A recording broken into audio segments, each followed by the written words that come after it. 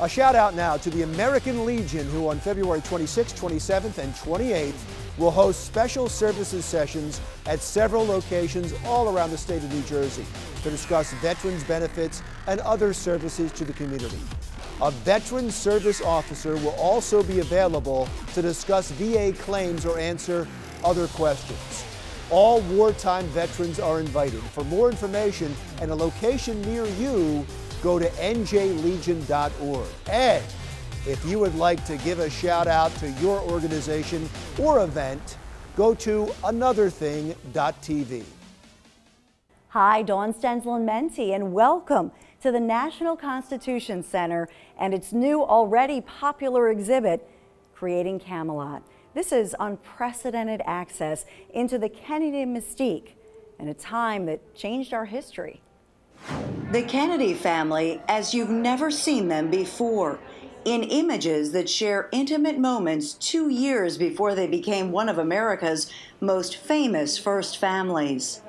Youthful, idealistic, strong, um, really resonates with, with younger visitors because it's someone they've studied. This exhibit also examines how John F. Kennedy, the candidate, captivated Americans by mastering the media.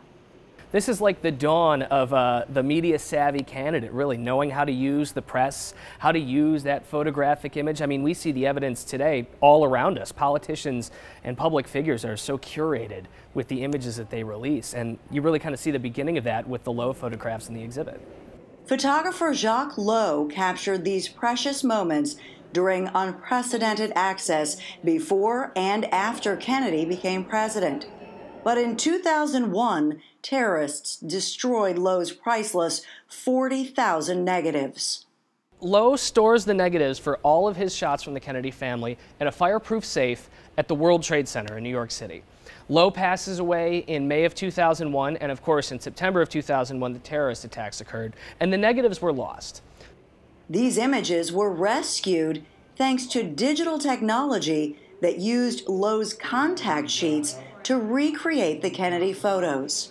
This interactive touchscreen lets you imagine you're the photographer. I think it's fun to compare how serious Kennedy looks when he's by himself. He looks like he's actually in a pretty bad mood.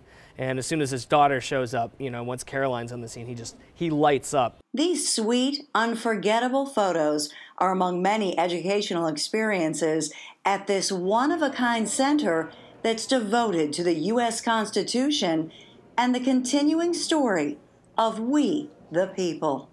If you want a selfie with a founding father like George Washington, or maybe you want to try signing your name to the Constitution. This interactive exhibit at Signers Hall is always here, but as for creating Camelot, that runs through the summer, ending Labor Day weekend. For another thing, I'm Dawn Stensland Mendte. Up next, Larry's commentary.